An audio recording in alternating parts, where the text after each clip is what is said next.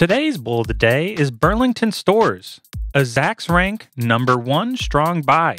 Not all retails are struggling. This discount chain saw same store sales rise 4.6% in the key holiday quarter, and earnings are expected to rise by 20% this year. Today's bear of the day is Ryder System Incorporated, a Zacks rank number 5 strong sell. Weakness in used equipment pricing hit in the fourth quarter and led to lower 2017 guidance. Earnings are expected to fall about 4% in 2017 as the headwinds persist. Visit Zacks.com slash bull to get seven stocks set to outperform the market over the next 30 days.